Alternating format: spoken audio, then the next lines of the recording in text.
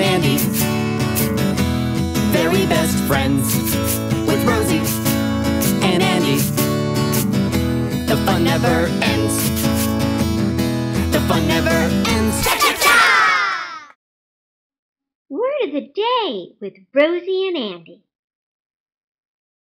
Hi, friends. Hola, amigos. We're here to share the word of the day.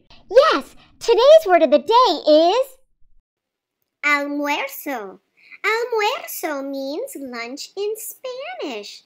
Can you say almuerzo? Great!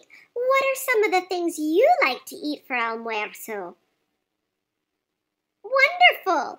Let's practice saying almuerzo together again. Almuerzo. For more fun learning Spanish with Rosie and Andy, visit rosieandandy.com.